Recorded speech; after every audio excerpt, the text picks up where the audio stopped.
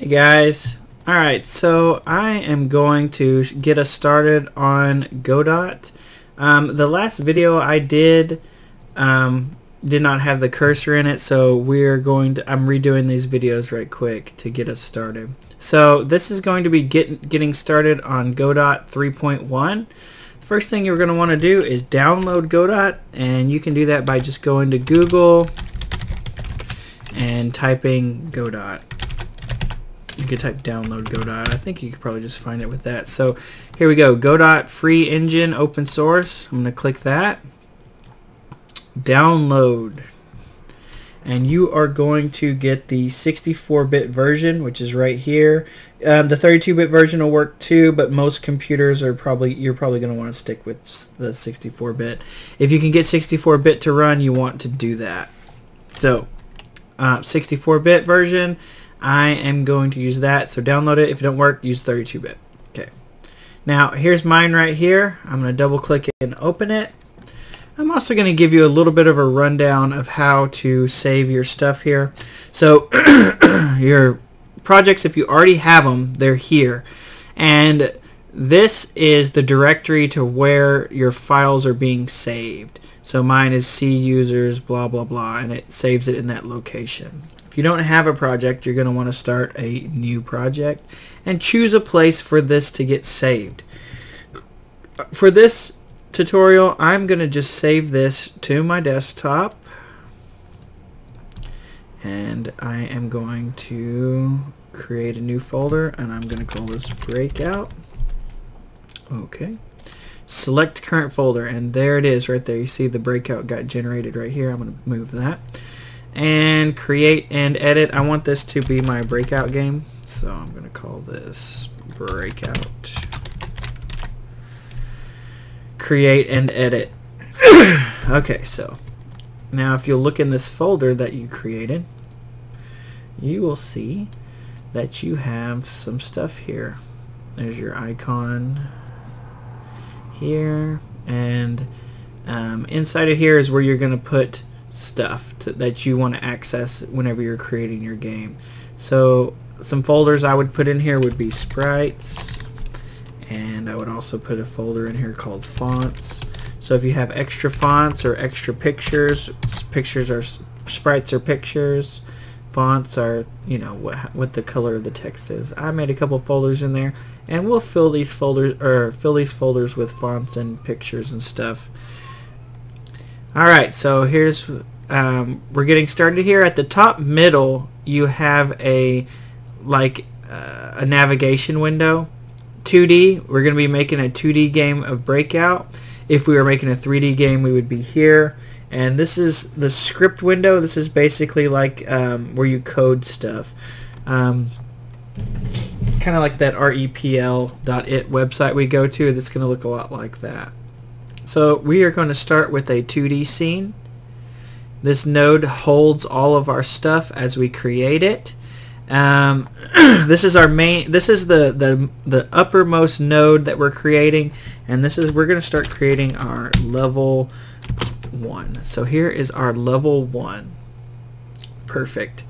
Um, now we don't have anything in the game because there's nothing here but we're going to go ahead and add our first object. We're going to add a kinematic body. So type K-I-N. You're going to notice that some are red and some are blue. The red ones are 3D models. The blue ones are 2D models. We are adding 2D models. we we want to do everything in 2D. I'm going to rename this to paddle, just like that.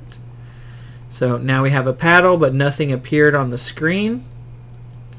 And so we have to, we actually, in Godot, you have to give it everything, all the pictures, all of everything.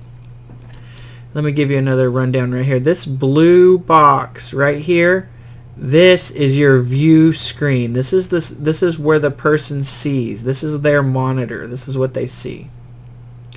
And then this is like the x-axis and the y-axis. So 0, 0 is right here. And you're going to notice whenever we create something, it tries to put it at 0, 0. So now what I'm going to do is I'm going to give us a picture for our paddle. So I'm going to do sprite right here, create, and still nothing appeared. That's because we need to give it the image. So right here under sprite, you got to give it a texture so something can show up. The only thing we have right now is this icon, so I'm going to click the icon and I'm going to drag and drop it right there. Now we have a picture. Now the thing with this is this cannot interact with anything in the world. It's just a picture. You have to it's it has no shape and no form so like it, it would fall through walls or or the floor. So we actually have to give it some um, some substance and that is considered a collision shape. So I'm going to select the paddle. Make sure you select the paddle node and you're going to hit the plus sign and you're going to say collision C-O-L-L collision shape 2D this is going to be something that gives our character substance so it doesn't fall through stuff. On the right hand side we have the shapes right here. It doesn't it, we gave it a collision but we didn't tell it what shape the collision is. You could do a circle. You could do a square. You could do a polygon we are going to use the 2D rectangle. So select 2D rectangle and when you do that it's going to put a box right on his nose and it's got two little circles. Use those circles to stretch the shape and fill up the box. There you go. Now after I'm done with this I might want to move my character to like the center of my screen right so I can see him. Well up here at the top you have some buttons that you can use to, you, to move them around. If I click this move mode, now I think I should be able to grab and move him, right? Well, watch what happens when I click to grab. Uh-oh, I just separated my picture from my collision shape. Use Control Z to undo that. Now, how can we keep that from happening? We don't want to move the picture. We don't want to move the shape. We want to move them together. Control Z undoes. Control Z, Control Z. I undid what I just did. Now, go to your main paddle node. Look right there. There's a little arrow right next to it. I'm hiding and opening. Those are the things that are a part of your paddle. We want to lock them all together. Uh, I'm going to call it the child safety lock. It's not actually the lock. It's the one in between the bone and the, the lock. It's this one right here. Make sure that the children are not selectable. So turn on your child's safety locks and now you can move it around. There you go. You can move it and I can put it in the center of my screen. Okay, cool. Now we haven't saved anything yet, so let's let's start with that. So we're going to do control S and this is going to be my level 1 since I labeled that level 1 it's wanting to save it right there. So I'm going to hit save. We got level 1 but when we hit play on our game it says hey you've never given me a main scene. You've never told me where I'm supposed to start. That play button up is up here in the top right. Or you can push F5 so I'm going to push that play button. It told me no main scene selected. So I'm going to say select and I just want to use that starting scene. There we go. Our game's running. Nothing moves. Nothing works yet. So we are going to need to add some code to this guy, our paddle, so he can move around. I am going to select the paddle and right up here in the top right there's a little scroll with a plus sign. Click that and click create. This looks like repl.it. And this is where we're going to put our code to make our guy move. If you will click this online docs button, you can get to this web page, which has some good information. We are going to go to the 2D tutorial.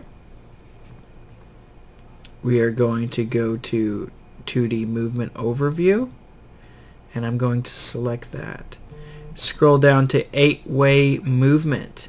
This is the code we're going to use for our movement. So let's copy this code and let's paste it here. Now our paddle should not be able to move up and down so I am going to comment out up and down. So these four lines have to do with moving up and down. I said ignore those lines. and this says right and this says left. Now our our interface does not recognize left and right. Here, let me show you which ones it does. So go up here to project and do project settings and if you'll go to the input map you'll notice that left and right are actually UI underscore left and UI underscore right.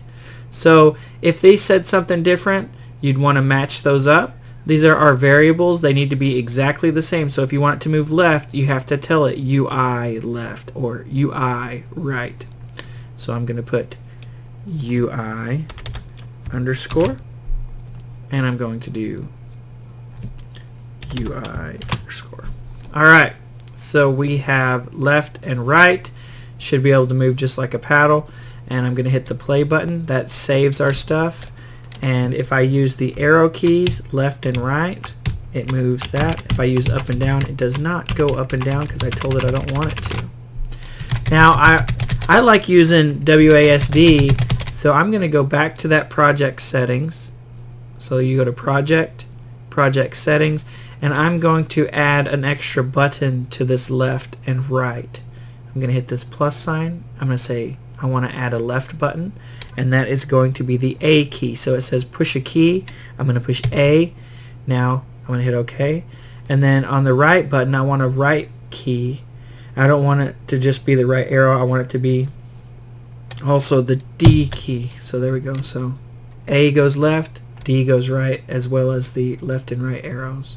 So now when I push play, A, A and D move it, and the arrows both move it. So I can use more buttons.